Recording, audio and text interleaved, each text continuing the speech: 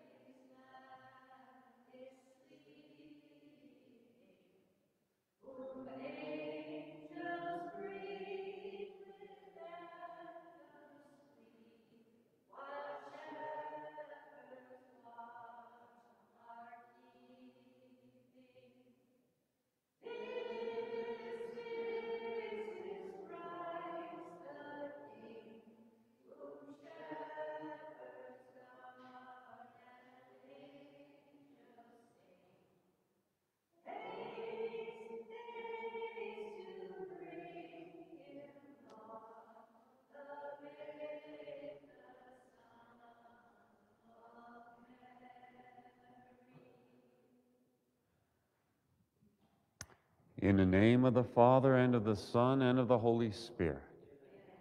The grace and peace of the Lord be with you. Gathered together on this Christmas season, we ask the Lord for a continuation of his pardon and peace, so that we may worthily celebrate these holy mysteries.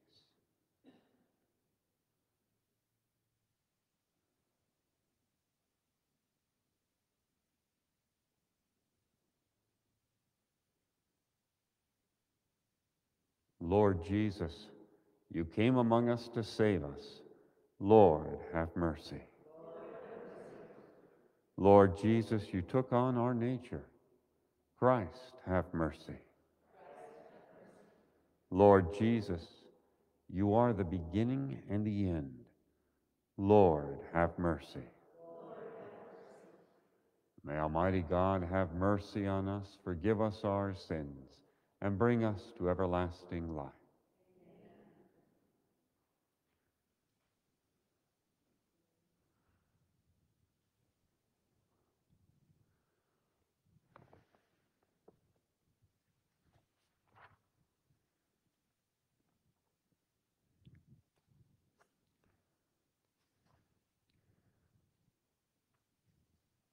Glory to God in the highest, and on earth peace to people of good will. We praise you, we bless you, we adore you, we glorify you. We give you thanks for your great glory. Lord God, heavenly King, O God, Almighty Father, Lord Jesus Christ, only begotten Son, Lord God, Lamb of God, Son of the Father. You take away the sins of the world. Have mercy on us. You take away the sins of the world. Receive our prayer. You are seated at the right hand of the Father. Have mercy on us. For you alone are the Holy One. You alone are the Lord. You alone are the Most High, Jesus Christ, with the Holy Spirit, in the glory of God the Father. Amen. And let us pray. Almighty, ever living God, who in the nativity of your Son established the beginning and the fulfillment of all religion, grant, we pray, that we may be numbered among those who belong to him, in whom is the fullness of human salvation, who lives and reigns with you in the unity of the Holy Spirit, one God forever and ever.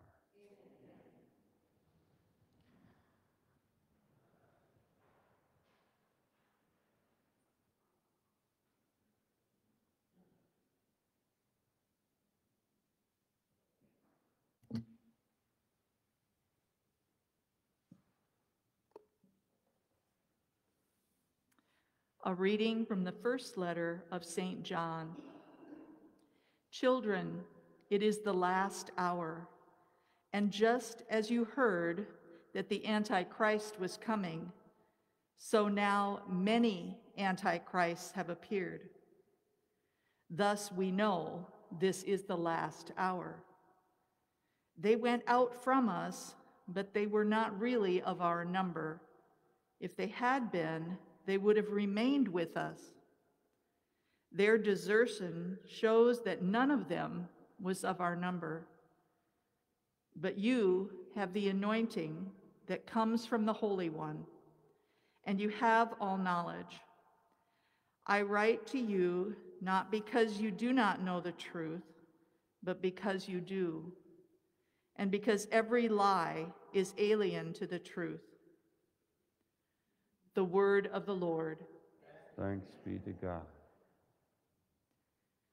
Let the heavens be glad and the earth rejoice. Let the heavens be glad and the earth rejoice. Sing to the Lord a new song. Sing to the Lord, all you lands. Sing to the Lord, bless his name. Announce his salvation day after day. Let the heavens be glad and the earth rejoice. Let the heavens be glad and the earth rejoice. Let the sea and what fills it resound. Let the plains be joyful and all that is in them. Then shall all the trees of the forest exult before the Lord. Let the heavens be glad and the earth rejoice. The Lord comes, he comes to rule the earth. He shall rule the world with justice and the peoples with his constancy. Let the heavens be glad and the earth rejoice.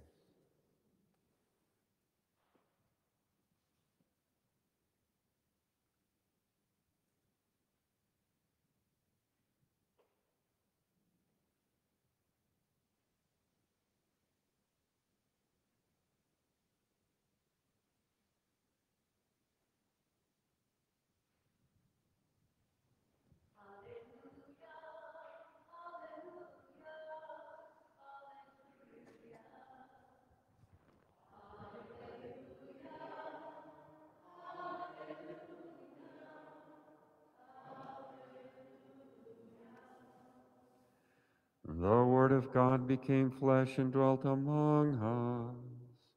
To those who accepted him, he gave power to become the children of God.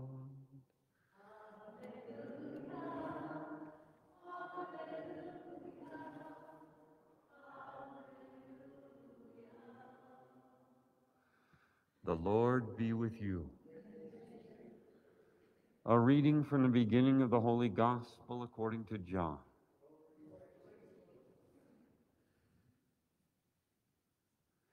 In the beginning was the Word, and the Word was with God, and the Word was God. He was in the beginning with God. All things came to be through him, and without him, nothing came to be. What came to be through him was life, and this life was the light of the human race. The light shines in a darkness, and the darkness has not overcome it. A man named John was sent from God.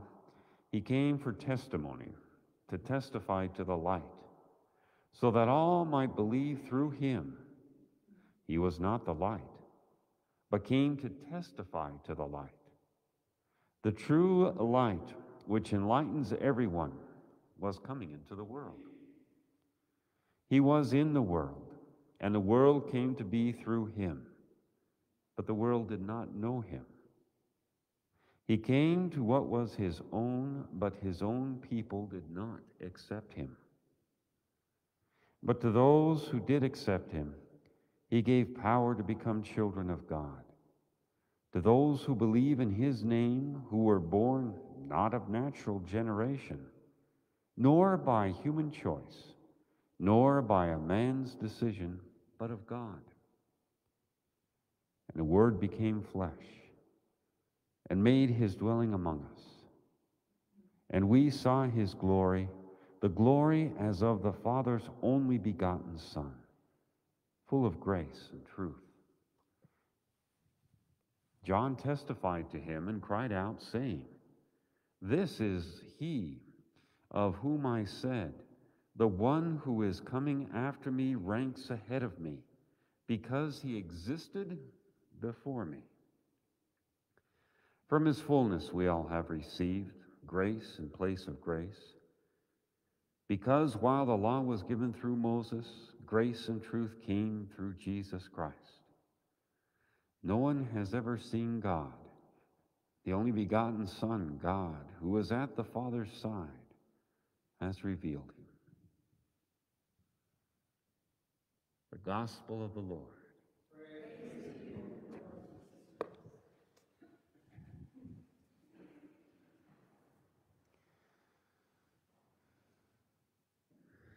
We too come into the world for testimony. We too come to testify to the light. And we do so to the best of our abilities, just as John. We do so asking the Lord not only for the graces and the strength we need, but for the joy that comes from giving such testimony. The joy that comes from being close to such light. This is our task. This is our task throughout the year. And the joy of this task and the coming of the light is particularly evident in this Christmas season. We give thanks to the Lord for the call we've received. We ask for his graces, his pardon, and his peace as we continue to walk in the footsteps of all who have come before us, shining, reflecting on the one who came for us all.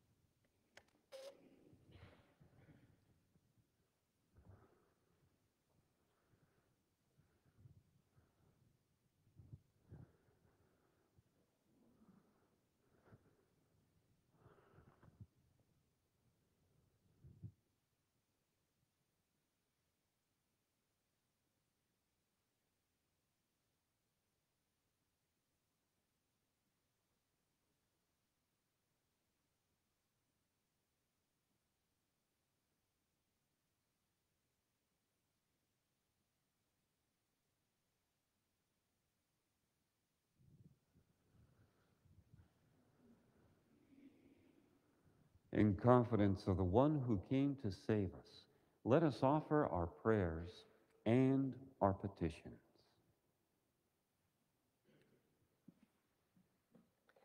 This Mass is offered for Dan Sorensen.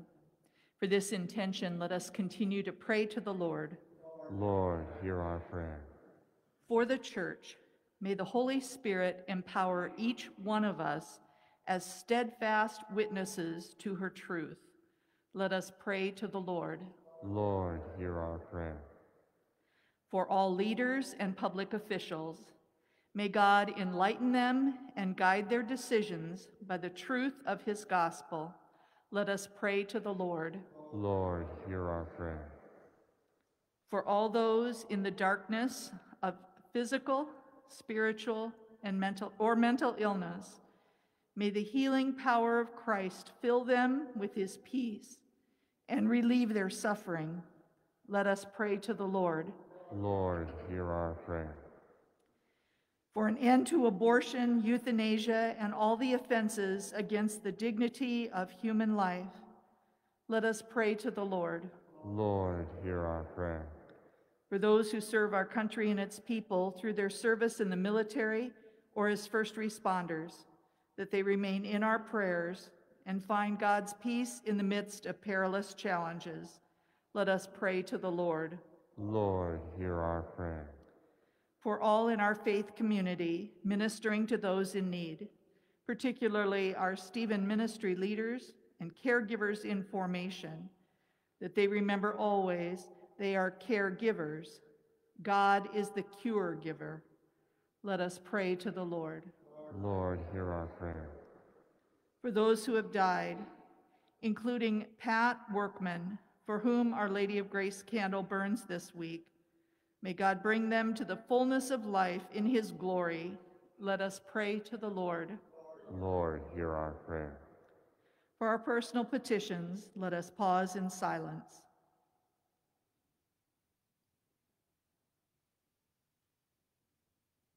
For all of these, let us pray to the Lord. Lord, hear our prayer. Good and gracious God, continue to call your people to yourself. We ask this through Christ our Lord.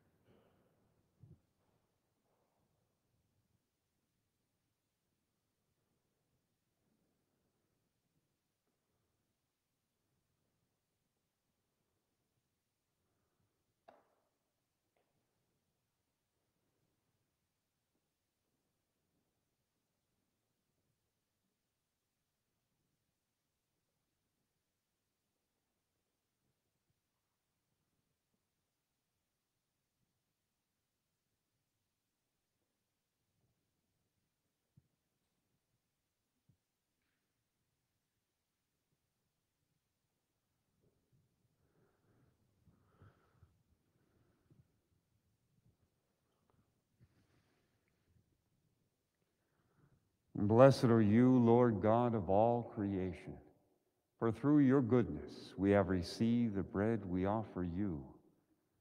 Fruit of the field and work of human hands, it will become for us the bread of life.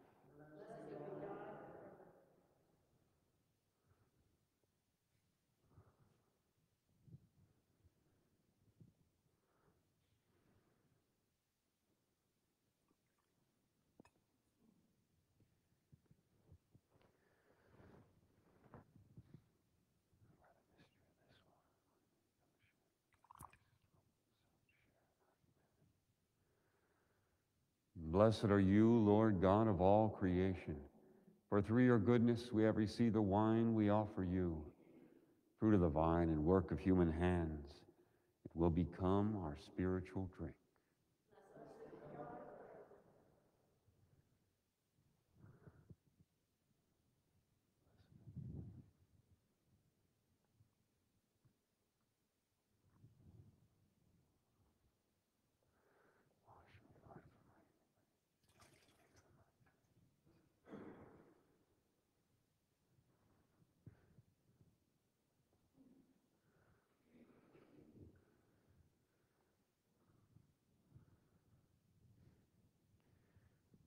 Pray, brothers and sisters, that my sacrifice and yours may be acceptable to God, the Father Almighty.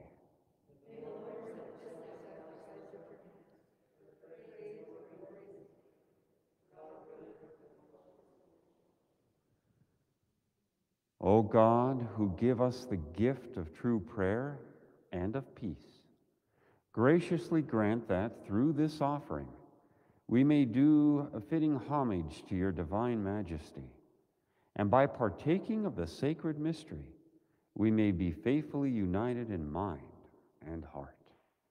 Through Christ our Lord.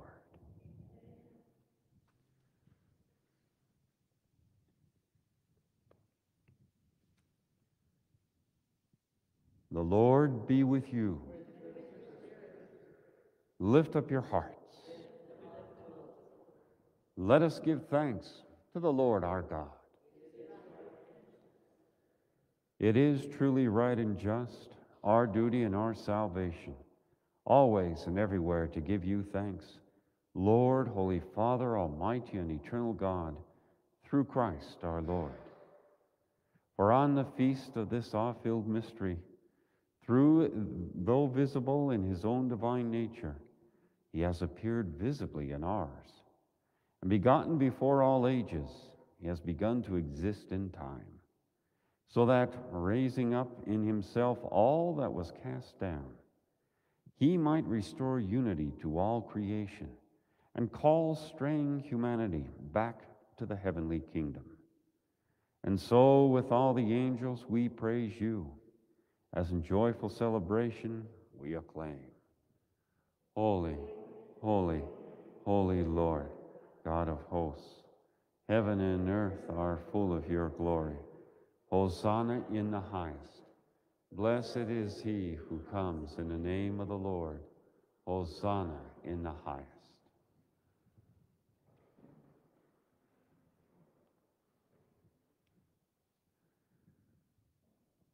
You are indeed holy, O Lord, the font of all holiness. Make holy, therefore, these gifts, we pray, by sending down your Spirit upon them like the dewfall, so that they may become for us the body and blood of our Lord Jesus Christ. At the time he was betrayed and entered willingly into his passion, he took bread and giving thanks broke it and gave it to his disciples, saying, Take this, all of you, and eat of it. For this is my body, which will be given up for you.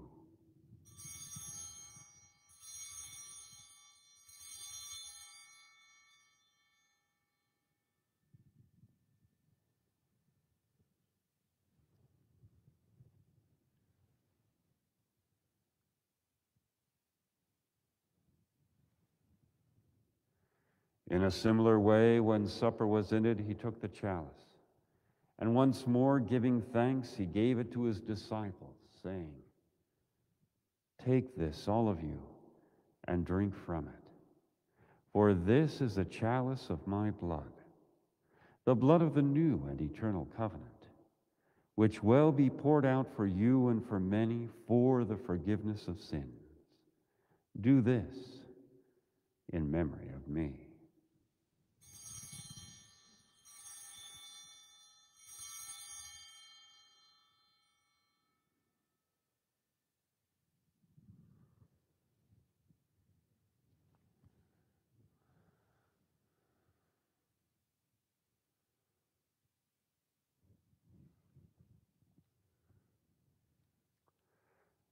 Mystery of faith.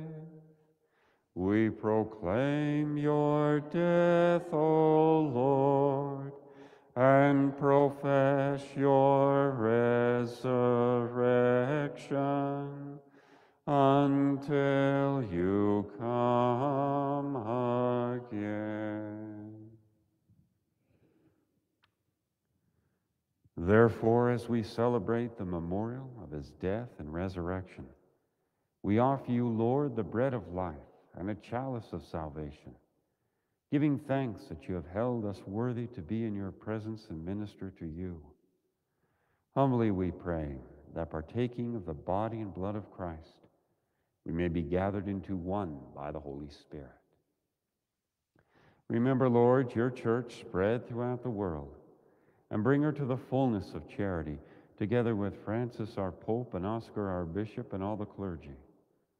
Remember also our brothers and sisters who have fallen asleep in the hope of the resurrection, and all who have died in your mercy.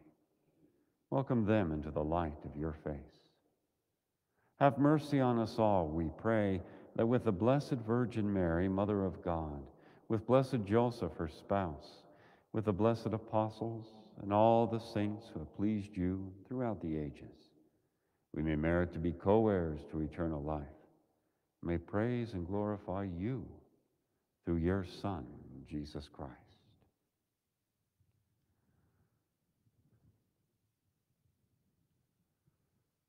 Through him and with him and in him, O God, Almighty Father, in the unity of the Holy Spirit, all glory and honor is yours forever and ever.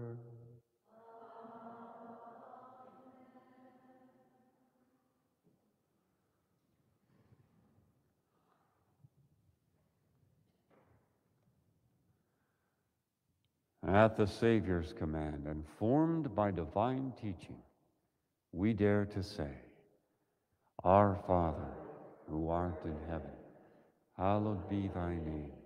Thy kingdom come, thy will be done, on earth as it is in heaven. Give us this day our daily bread, and forgive us our trespasses, as we forgive those who trespass against us. And lead us not into temptation, but deliver us from evil. Deliver us, Lord, we pray, from every evil. Graciously grant peace in our days, that by the help of your mercy, we may be always free from sin and safe from all distress, as we await the blessed hope and the coming of our Savior, Jesus Christ.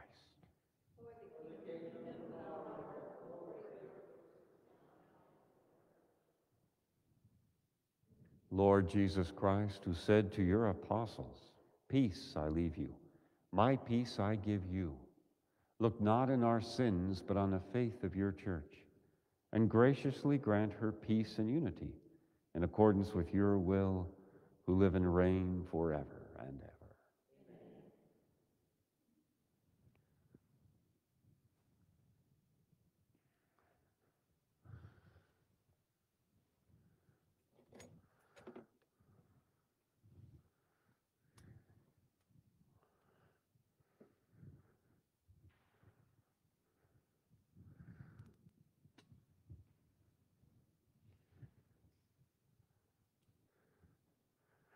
Lamb of God, you take away the sins of the world.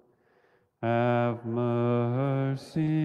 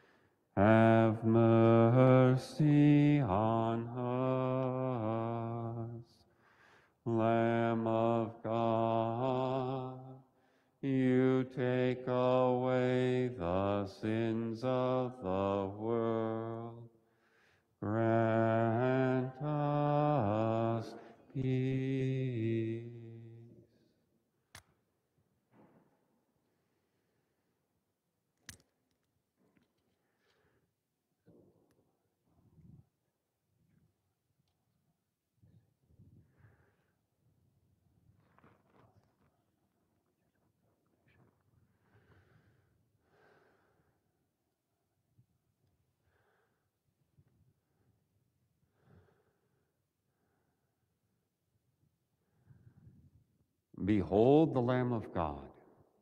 Behold him who takes away the sins of the world. Blessed are those called to the supper of the Lamb. Lord, I am not worthy that you should enter under my roof, but only say the word, and my soul shall be healed.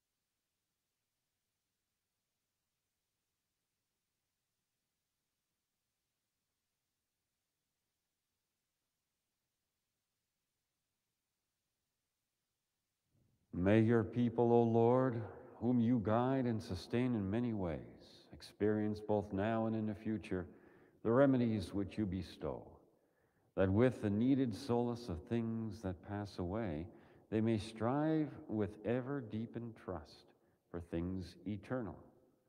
Through Christ our Lord. The Lord be with you. And may Almighty God bless you, the Father, the Son, and the Holy Spirit. Go and announce the gospel of the Lord.